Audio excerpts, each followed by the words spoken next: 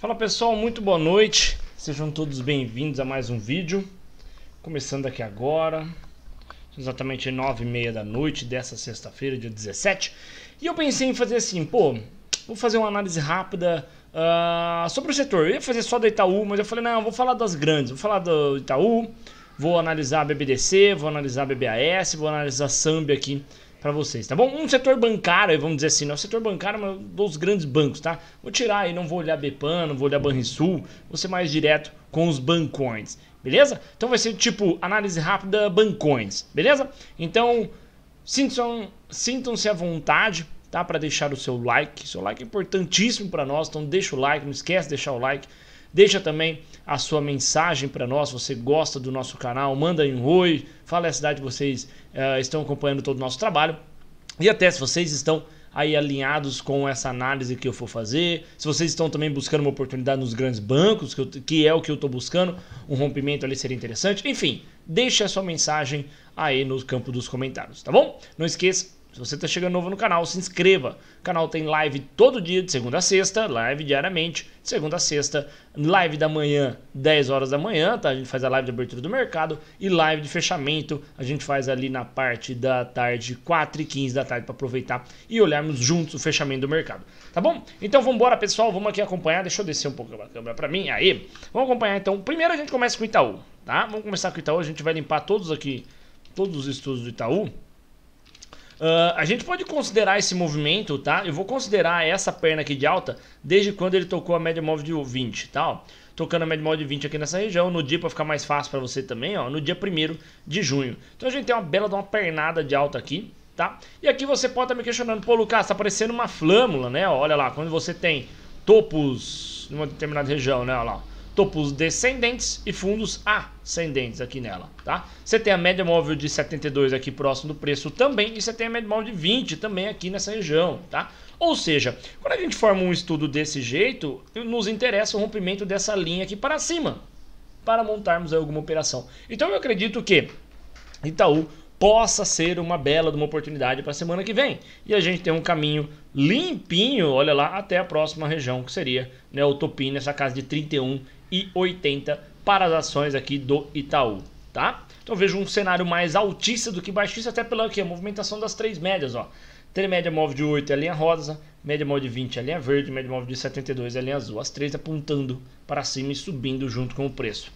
Tá? Então essa é a movimentação que a gente vê aqui para o Itaú. Pode até acompanhar as ações da Itaúsa, que se tiver alguma coisa ao contrário, é, ela está fazendo, ela está praticamente testando os topos de uma região de preço, né?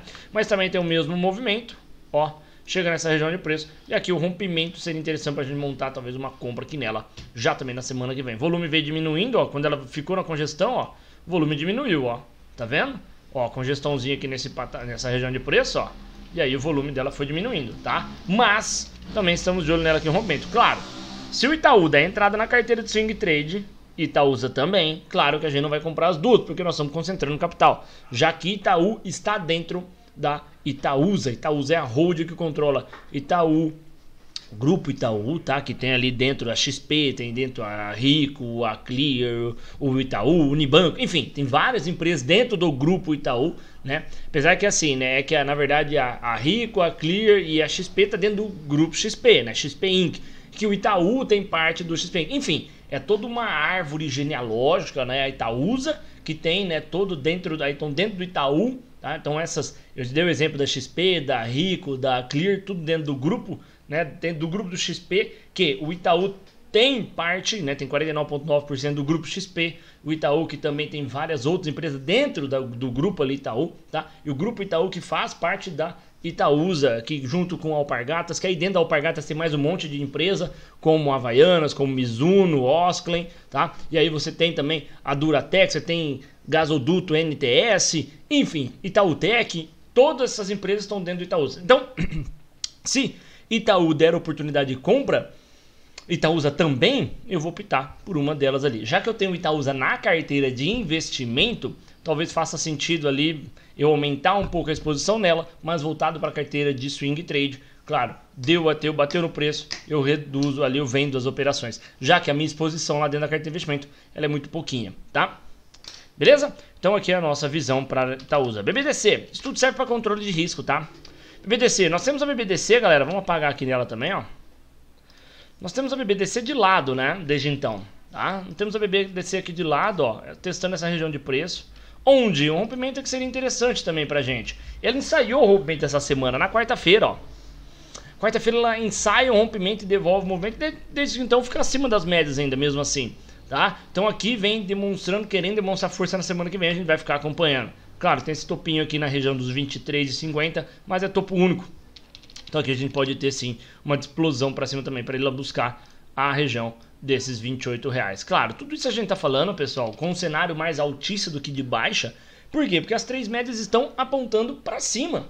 As três médias estão apontando para cima. Isso traz esse viés de alta, né? Sem falar que a gente tá tendo aqui nesse período de tempo, ó, topos e fundos ascendentes. Claro que essas três aqui não, nós temos um topo aí, né, descendente aqui recente, tá? Mas o padrão aqui ainda é de alta com as médias, as três médias apontando para cima. Então a gente vê o rompimento aqui, seria interessante para a gente também montar uma compra. Eu vou olhar BBAS, não esquece do like, tá galera? Like ajuda muito o nosso canal. Like, like, like pra gente, tá? Bom, BBAS, olha lá como é que BBAS é essa aqui, movimentou bem hoje, ó corta uma região de preço interessante aqui, ó, que é o que a gente quer ver em BBDC. Então a gente pode, opa, Lucas, peraí, então quer dizer que BBAS já está à frente dos outros bancos. Podemos interpretar dessa forma? Sim, olha lá. Olha como é que sobe bem hoje. Volume financeiro tem, rompe uma região de preço importante. Abre caminho para testar primeiro essa zona de preço, 37, 37,50, para depois sim também ser um papel para buscar lá o topaço, 46, 47 reais. Tem esse caminho limpinho para andar. A gente fica observando também essa movimentação de BBAS. Enquanto isso, Sambi 11. Ó, Sambi ela quis também fazer um rompimento hoje, né? Que praticamente, né? Se for pegar esse topo aqui, ó, ela quis andar, devolver o par do movimento. Só que também está aí dentro do nosso radar. Claro, então se a gente tá tendo BBS já subindo, Sambi foi e devolveu, eu vou ficar de olho ali em Tube e BBDC, tá? E Tube e BBDC. Se elas andarem na segunda-feira, pode ser aí uma oportunidade pra gente. Só que isso também vai depender da nossa carteira de swing trade. Se a gente vai estar exposto na CIA como é que a gente vai estar exposto na Movida, se a gente vai estar exposto na Viva ou se a gente vai estar exposto ainda na Show 3. Eu não vou trazer mais uma compra carteira. Eu vou zerar uma delas, possivelmente, tá? Uh, espero zerar uma delas aí para entrar no setor bancário, beleza?